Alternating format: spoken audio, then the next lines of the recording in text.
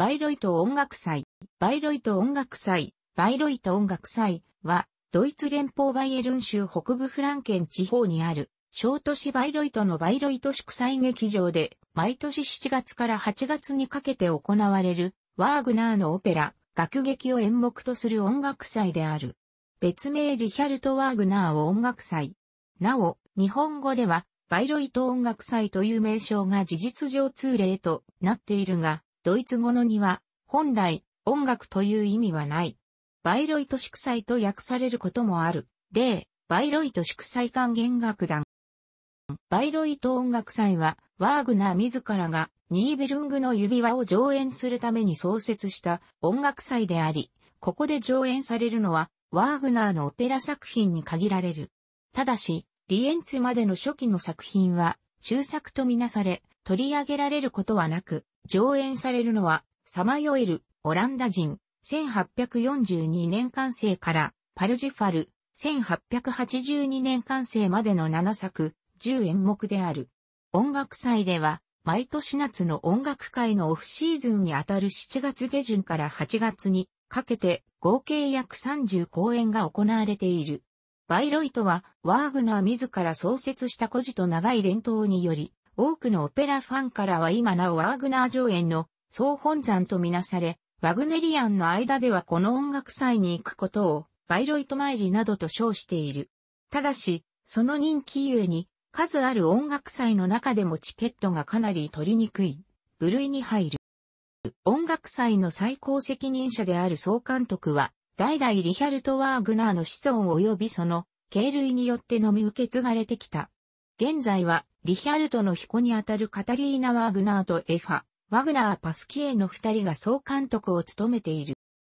これまでに、リヒャルト・シュトラウス、アルトゥーロ・トスカニーニ、ビルヘルム・フルトベングラー、ハンス・クナッパーツブッシュ、ヨーゼフ・カイルベルト、カール・ベーム、ヘルベルト・フォン・カラヤン、ピエル・ブーレーズ、カルロス・クライバー、ダニエル・バレンボイム、ジェームズ・レバインなど、その時代において巧妙な指揮者が招かれている。日本人では、2005年に、大上英二が、トリスタンとイゾルデを指揮したのが最初である。楽劇、ニーベルングの指輪4部作、ラインの黄金、ワルキューレ、ジークフリート、神々の黄昏。これらは少なくとも、現在は原則として4部作すべてで、同一の指揮者、演出家が担当すセット上演であり、単独及び分割での上演はないが上演される。年は、他の6演目、サマヨエル、オランダ人、タンホイザー、ローエングリン、トリスタンとイゾルデ、ニュルンベルクのイスターチンガー、パルジファルの中から3演目、合わせて7演目が上演される。通常、5年連続して、ニーベルングの指輪が上演され、1年置いて、新演出の指輪が上演されるというスジュールだが、指輪が上演されない年はそれ以外の6演目の中から5演目が上演される。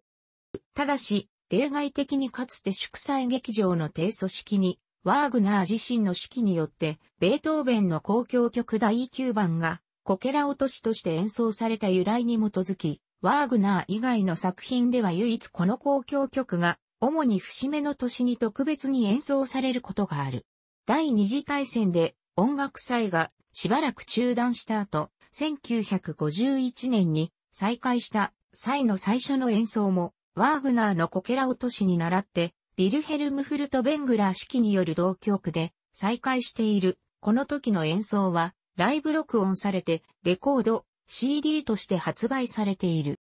ワーグナーはかねてから、己の楽劇を他人の手に触れさせず己の理想的な形で上演することを夢見て、劇場用の土地を探し求めていた。しかしなかなか理想的な場所は見つからず、苦心して探し出した土地も政治的な理由などで追い出されたりした。やがて親しくしていたバイエルン国王ルートビヒ2世により、バイロイト辺境白夫人ビルヘルミネ、プロイセン王フリードリヒ2世の姉が建築した辺境白劇場があったバイロイトの地を提供された。だがそこにあった劇場にも満足できなかったワーグナーは、自ら劇場を建築することを決心する。ルートビヒ2世からの資金提供を受け、低組織の収入なども建築費用に充てた。あくまで仮住まいとして建築されたため、建築費用は抑えられた。余った費用は別荘であるバンフリート間建築などに充てられた。しかし、それ以外の費用、上演用などは全然足りなかったので、ルートビヒ2世に懇願して、さらに借金をしている。1876年、ルートビヒ2世やドイツ皇帝ビルヘルム1世、ブラジル皇帝ペドロ2世などの国賓や、フランツ・リスト、アントン・ブルックナー、ピョートル・チャイコフスキーなど音楽からの感を集め、ハンス・リヒター式、ニーベルングの指輪で、第1回の音楽祭が開かれた。結果としては、大赤字となり、舞台表もあまり芳しくなく、ワーグナー自身もひどい鬱になるほどの落ち込みよだった。また、大赤字が尾を引いたせいで1882年まで音楽祭は開かれず、指輪も1896年まで上演されなかった。第2回の1882年以降は、休みの年を挟みながら、なんとか開催されたが、第一次世界大戦と戦後の混乱の影響で、1915年から1923年までは開催されなかった。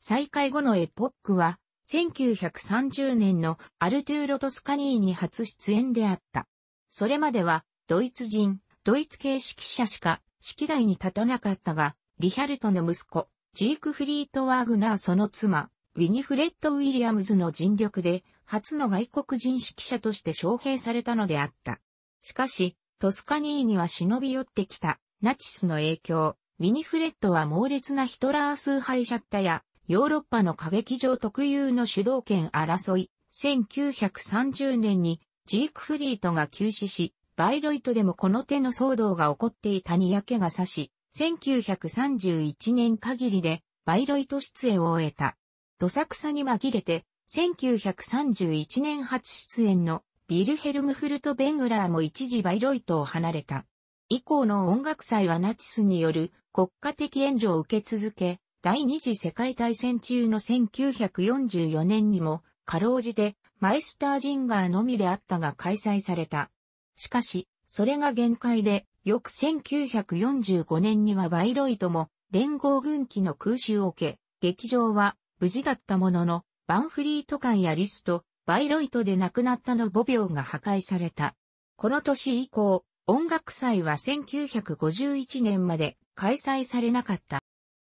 戦後、ヒトラー崇拝を止めなかったウィニフレッドを追放し、ピーラント・ワーグナー、ボルフガング・ワーグナーの兄弟が音楽祭を支えることとなり、バイロイトの民主化は一応なされた。1951年7月29日、フルト・ベングラー式の第9で音楽祭は再開された。再開後初出演したのは、クナッパーアツブッシュとカラヤンであった。再開されたとはいえ、音楽祭はなお資金不足が深刻であった。苦肉の策で、ビーラントらは最低限の簡素なセットに照明を巧みに当てて、暗示的に舞台背景を表現するという新機軸の舞台を考案する。舞台稽古初日、舞台を見回したクナッパーツブッシュは、まだセットが準備されていないのだと思い込み、なんだ、舞台がまだ空っぽじゃないか。と怒鳴ったという。しかしこの資金不足の賜物であった空っぽな舞台こそが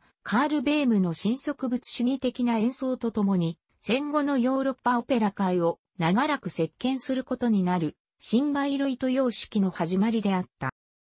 事情が事情であったが、クナッパーツブッシュやカラヤンはこの演出に大いに不満であり、カラヤンは翌1952年限りでバイロイトを去った。クナッパーツブッシュもそうするつもりであったが、1953年の音楽祭に出演し、以降の出演も約束されていたクレメンス・クラウスが1954年に休止したため、慌てたビーラントとボルフガングはクナッパーツブッシュに詫びを入れ、音楽祭に呼び戻した。以降、亡くなる前年の1964年までクナッパーツブッシュはバイロイトの音楽面での支柱とな、新バイロイト様式の舞台は、ビーラントとボルフガングが交互に演出しながら1973年まで続いた。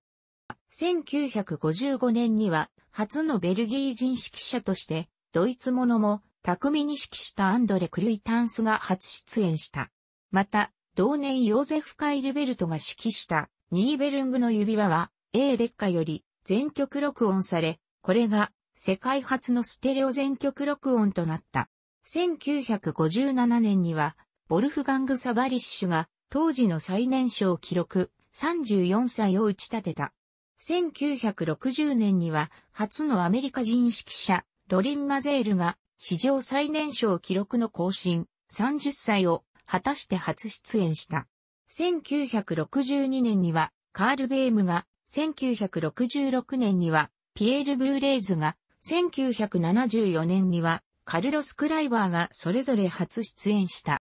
演出の方も、1966年にビーラントが亡くなってからは、弟のボルフガングが総監督の職を引き継いだ。ビーラント亡き後、ビーラントの遺族とボルフガング一家が互いの取り巻きを交えの内紛に明け暮れ、そのスキャンダルも相まって同族運営が大きな批判にさらされるようになったことから、1973年にリヒャルト・ワーグナー財団へ運営が移管された。同財団の運営権は、ドイツ連邦政府、バイエルン州政府に最大の権限があり、ついで、ワーグナー家、バイロイト市、ワーグナー協会の順になっている。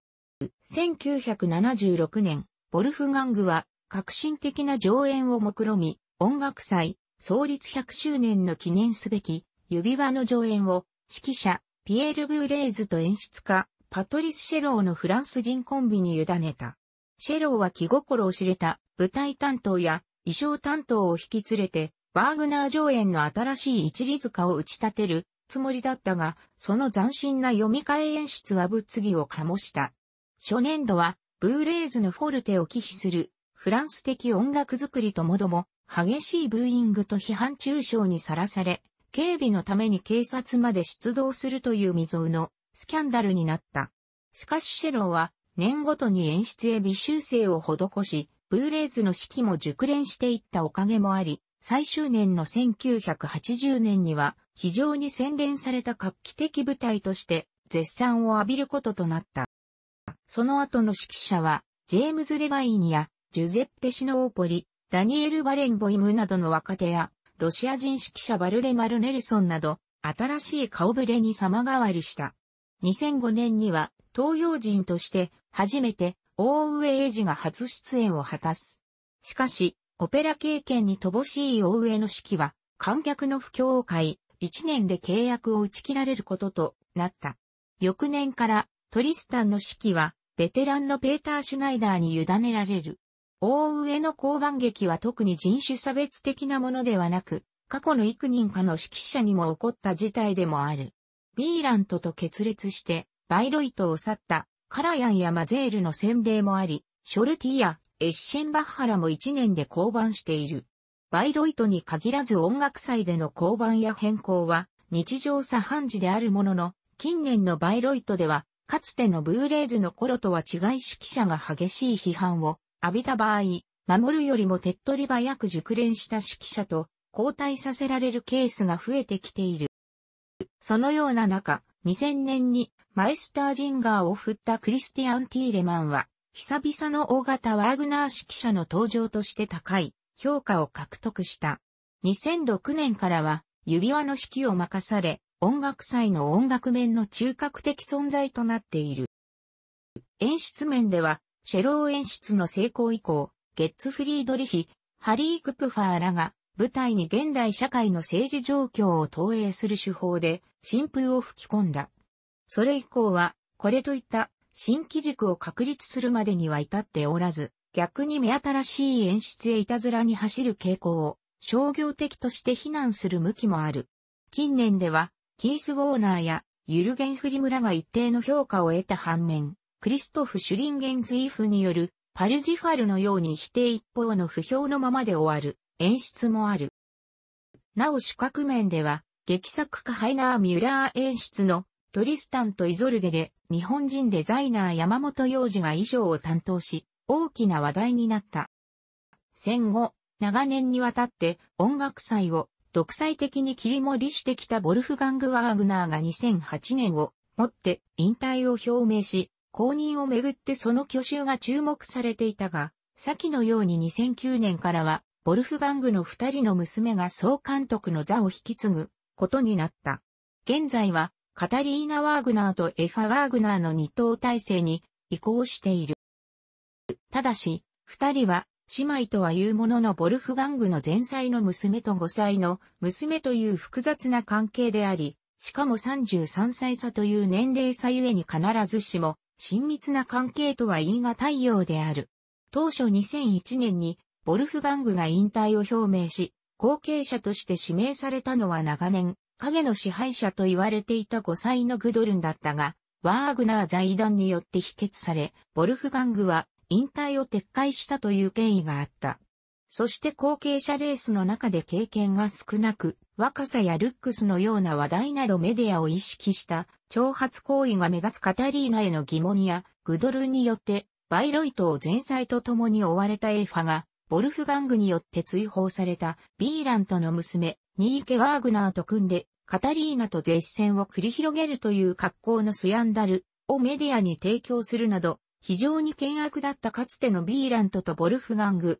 兄弟の骨肉の争いの再来ぶりに、先行きを危ぶむ声も多い。早速カタリーナは、2007年の新演出のマイスタージンガーの演出を自ら手掛け存在感をアピールした。しかし、その挑発的な舞台は一部の観客からブーイングを浴び、批評家やマスコミの間でも物議を醸した。翌2008年からは舞台中継のネットでの映像ストリーミング配信や会場外でのパブリックビューイングがカタリーナの肝入りにより始められた。2008年はマイスタージンガー、2009年はトリスタンとイゾルデが生中継された。これにより会場外の観客や世界各国のインターネットワグネリアンたちにもこれまで以上に音楽祭の雰囲気を楽しむことができるようになり、大変わりしたバイロイトらしい新機軸として評判になった。そして、ボルフガングが死去してから、初めての音楽祭となる2010年、テレビでの生中継が実現する運びとなる、口述。翌2011年の第100回の開催では、ユダヤとの関係改善を目論むカタリーナの計らいで、イスラエル室内管弦楽団がバイロイトを訪れ、市内のホールにて、ロベルト・パーテルノストロの指揮により、ジークフリート・ボッカを演奏した。この年の初日の演目は、新演出のタンホイザー。メルケルド首相やトリシェ欧州中央銀行、ECB 総裁夫妻ら、著名人が訪れた。初出演順、ハンス・リヒター、ヘルマン・レービ、フランツ・フィッシャー、フェリックス・モットル、リヒャルト・シュトラウス、ジークフリート・ワーグナー、アントン・ザイドル。リヒター、モットル、ジークフリート・ワーグナー、カール・ムック、フランツ・バイドラー、ミハエル・バリング、ビリバルト、ケイラー、フリッツ・ブッシュ、フランツ・フォン・ヘスリン、カール・エルメンドルフ、アルトゥーロ・トスカニーニ、ビルヘルム・フルト・ベングラー、リヒャルト・シュトラウス、ハインツ・ティーチェン、ビクトル・デ・サバタ、リヒャルト・クラウス、ヘルマン・アーベントロート、ハンス・クナッパーツブッシュ、ヘルベルト・フォン・カラヤン、ヨゼフ・カイルベルト、オイゲン・ヨッフム、クレメンス・クラウス、アンドレ・クルイタンス、ボルフガング・サバリッシュ、ハインツ・ティーティエン、エーリヒ・ラインスドルフ、ロブロ・フォン・マタチッチ、ルドルフ・ケンペ、ロリン・マゼール、フェルディナント・ライトナー、ヨーゼフ・クリップス、カール・ベーム、トーマス・シッパーズ、オトマール・スイートナー、ロベルト・ヘーガー、ベリスラフ・クロブチャール、ピエール・ブーレーズ、カール・メレス、クリストフ・フォン・ドホナーニ、アルベルト・エレーデ、ホルスト・シュタイン、シルビオ・バルビーゾ、ハンス・バラット、ハインリヒ・ホルライザー、カルロス・クライバー、ハンス・ツェンダー、サーコリン・デイビス、デニス・ラッセル・デイビス、エド・デ・ワールト、バルデマール・ネルソン、マーク・エルダー、ダニエル・バレンボイム、ペーター・シュナイダー、ジェームズ・レバイン、サー・ゲオルク・ショルティ、ジュゼッペ・シノーポリ、ミハイル・シェーンバント、ドナルド・ラニクルズ、アントニオ・パパーノ、クリストフ・エッシェンバッハ、クリスティアン・ティーレマン、アダム・フィッシャー、アンドルー・デイビス、マルク・アルブレヒト、オーウェージ、セバスチャン・バイグレ、クリストフ・ウルリッヒ・マイヤー、ダニエレ・ガッティ、アンドリス・ネルソンス、キリル・ペトレンコ、アクセル・コーバー。劇場にはロビーがないため、幕間には観客は自席へ座っているのでなければ、建物の外へ出ることになる。休憩は1時間で、開演前には、ファンファーレ隊がバルコニーに立ち、その日に上演される楽劇から引用したモチーフを3回、15分前、10分前、5分前演奏する。観客は基本的に清掃であることが望ましいとされ、男性はタキシード、女性はイブニングドレスが多数派を占めるが、これは強制のドレスコードではないので、タータンチェックのキルトをまとったスコットランド紳士や、シックな和装の日本人女性を見かけることも珍しいことではない。開演前や休憩時の前提は各国のファッションを披露する場であるとも言える。特に初日はバイロイト音楽祭のファンであるアンゲラ・メルケル首相をはじめとした内外の政治家や芸術関係者など著名人を招待することが第1回から行われており、限界体制の警備が敷かれる。古市健二は、週刊新潮2018年9月6日号の誰の味方でもありません。連載66で、かつてはもっと格式ばった音楽祭だったらしい。タキシードを着るのは当たり前今のバイロイトはポロヤツオラフに来ていた。答えは温暖化である。このバイロイト祝祭劇場には冷房設備がないのだ。かつてドイツは夏といえども涼しい日が多く、エアコンは必要なかった。しかし最近の世界的な異常気象の影響か、バイロイトでもとんでもない暑さ見舞われる。温度自体が拷問なのだ。と、ドレスコードの変化を述べている。劇場内に冷房の設備がないので、晴天の日にはかなりの室温になることもしばしばである。したがって会場が暗くなると上着を脱いだり、最初から上着を着ない男性もいる。体調を崩す観客が珍しくないため、建物の中にはそうした人々のための休憩所があり、そこでは巨大なモニターで舞台の様子が中継されている。また、建物の外では救急車が待機している。劇場内に冷房装置はないが、近年送風装置が設置されて、休憩時には新鮮な空気を送り込んでいる。座席に肘掛けはなく、背当てのみに薄いクッションはあるが、腰を下ろす部分は未だに木製である。これは、座り心地の良い椅子で観客が眠ってしまうことを嫌ったワーグナー自身の愛である。こうした事情を知っている常連客の中には、自らクッションを持ち込む者もいる。クロークでもクッションの貸し出しを行っている。